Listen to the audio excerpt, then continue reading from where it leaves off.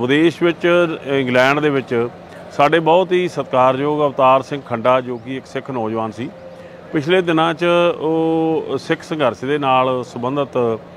ਜਿਹੜੇ ਮਾਮਲਿਆਂ ਨਾਲ ਜੁੜਿਆ ਰਿਹਾ ਤੇ ਉਹਦੀ ਥੋੜੀ ਸਮਾਂ ਜਿਹੜੀ ਅ, ਕੀ ਨਾ ਬਿਮਾਰੀ ਤੋਂ ਬਾਅਦ ਉਹਨਾਂ ਦੀ ਮੌਤ ਹੋ ਜਾਣ ਤੋਂ ਬਾਅਦ ਉਹਨਾਂ ਦੀ ਜਿਹੜੀ ਮਾਤਾ ਤੇ ਉਹਨਾਂ ਦੀ ਜਿਹੜੀ ਭੈਣ ਆ ਜਿਹੜੇ ਕਿ ਦੇਸ਼ ਹਿੰਦੂ ਦੇਸ਼ ਦੇ ਵਿੱਚ ਇੰਡੀਆ ਵਿੱਚ ਵਸਦੇ ਆ ਉਹਨਾਂ ਨੂੰ ਉਹਦੇ ਸੰਸਕਾਰ ਵਿੱਚ ਜਾਣ ਦੀ ਇਜਾਜ਼ਤ ਇੰਗਲੈਂਡ ਦੀ ਸਰਕਾਰ ਨੇ ਨਹੀਂ ਦਿੱਤੀ। ਜਿਹੜੀ ਕਿ ਮੈਂ ਸਮਝਦਾ ਕਿ ਇੱਕ ਸਿੱਖ ਹੋਣ ਦੇ ਨਾਤੇ ਅਸੀਂ ਇਸ ਗੱਲ ਦਾ ਵਿਰੋਧ ਵੀ ਕਰਦੇ ਹਾਂ ਤੇ ਦੂਸਰੇ ਪਾਸੇ ਇਹ ਇੱਕ ਮਾਨਵੀ ਅਧਿਕਾਰਾਂ ਦਾ ਹਨਨ ਹੈ। ਮਾਨਵੀ ਅਧਿਕਾਰਾਂ ਦੀ ਉਲੰਘਣਾ ਹੈ ਕਿ ਉਸ ਦੇ ਪਰਿਵਾਰ ਨੂੰ ਉਸ ਬੱਚੇ ਦੇ ਸੰਸਕਾਰ ਵਿੱਚ, ਅੰਤਮ ਰਸਮਾਂ ਵਿੱਚ ਜਾਣ ਹੋ, ਜਾਣ ਦੇ ਲਈ ਜਿਹੜੀ ਹੈ ਇਜਾਜ਼ਤ ਨਹੀਂ ਦਿੱਤੀ ਜਾ ਰਹੀ। ਸੋ ਅਸੀਂ ਇੰਗਲੈਂਡ ਦੀ ਸਰਕਾਰ ਨੂੰ ਅਸੀਂ ਇਹ ਅਪੀਲ ਕਰਦੇ ਹਾਂ ਕਿ ਇਹ ਇੱਕ ਪਰਿਵਾਰ ਦਾ ਇੱਕ ਉਹਦੇ ਅੰਤਮ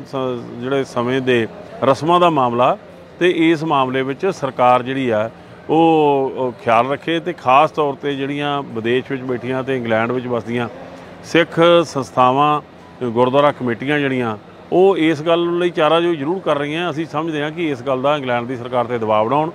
ਤਾਂ ਕਿ ਅਵਤਾਰ ਸਿੰਘ ਖੰਡਾ ਦੇ ਸੰਸਕਾਰ ਦੇ ਸਮੇਂ ਤੇ ਉਹਨਾਂ ਦੀ ਸਤਿਕਾਰਯੋਗ ਮਾਤਾ ਤੇ ਉਹਨਾਂ ਦੀ ਭੈਣ ਜਿਹੜੀ ਹੈ ਪਹੁੰਚ ਸਕੇ। ਸੋ ਅਸੀਂ ਇਸ ਗੱਲ ਲਈ ਵੀ ਆਪਣੇ ਤੌਰ ਤੇ ਚਾਰਾਜੋਈ ਕਰਾਂਗੇ ਤਾਂ ਕਿ ਉਹ ਉਹਨਾਂ ਦੇ ਅੰਤਮ ਰਸਮ ਵਿੱਚ ਪਹੁੰਚ ਕੇ ਹਾਜ਼ਰ ਹੋ ਸਕਣ ਤੇ ਰਸਮਾਂ ਆਪਣੇ ਹੱਥੀ ਕਰ ਸਕਣ।